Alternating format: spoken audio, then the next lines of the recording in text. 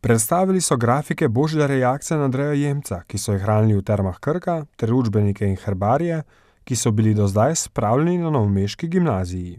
V termah Krka smo dolgo let iskali primeren prostor za hrambo naših umetniških del, ki so bila dolga leta shranjena v Mačkovem domu in potem je prišla ideja, da bi, da bi ta dela podarili Dolenjskemu muzeju.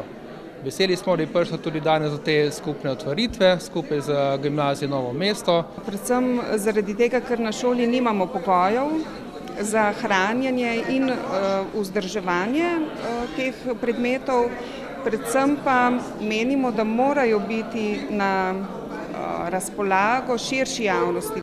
Tovrstne donacije so vedno dobrodošle, saj se z njimi širi raznovrstnost zbirk, ki jih hrani Dolenjski muzej.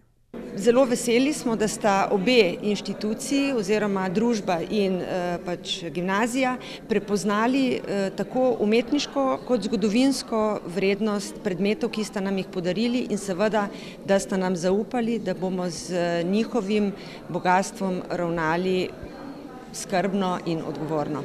Razstava bo v Mali dvorani Dolenjskega muzeja na ogled do petega maja.